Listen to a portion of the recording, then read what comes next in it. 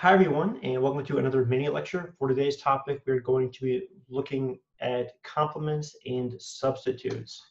Now, before I get too far into the video, I want to make sure everyone is on the same page insofar as when we are uh, discussing factors or the shifters of demand. And these are just going to be variables that directly cause either an increase or a decrease in demand which can be depicted as a rightward or a leftward shift of the demand curve. Now, the primary uh, factors of demand are going to include things like income, market size, consumer tastes, expectations, complementary goods, and substitute goods, which are going to be the focus of today's video.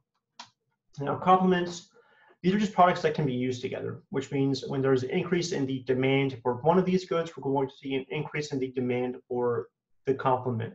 Um, likewise, if we see an increase in the price of a complement, we're going to see a decrease in the demand for its complement good. Now, the most intuitive example that I came up with is going to be hot dogs and hot dog buns. Now, if what I'm trying to say is that if there's an increase in the demand for hot dogs, we're going to see an increase in the demand for hot dog buns. Now, this one is probably going to make a little more sense to you, especially if you do your grocery shopping and you pay attention to the advertisements and how different products are displayed. If there is a increase, or I should say a decrease in the price of hot dogs, we're likely going to see that you're going to want to buy more hot dog buns to go with the additional hot dogs that you are going to be purchasing. Now, grocery stores are going to be aware of this, and they're actually going to attempt to get you to purchase more of their complementary goods that are associated with whichever good is on sale. And that's actually how they make their money back up that they might be losing from the uh, price decline and the advertised good.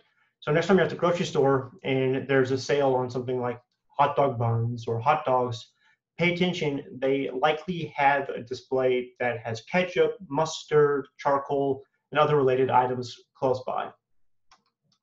Now, how does this look graphically?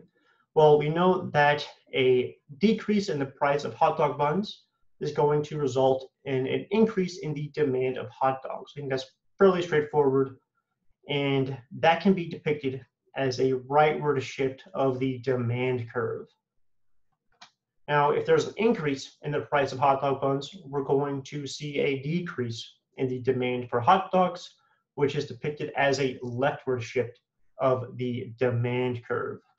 Now, substitutes for this, I picked apples and oranges, but these are just going to be products that can be used in the place of each other.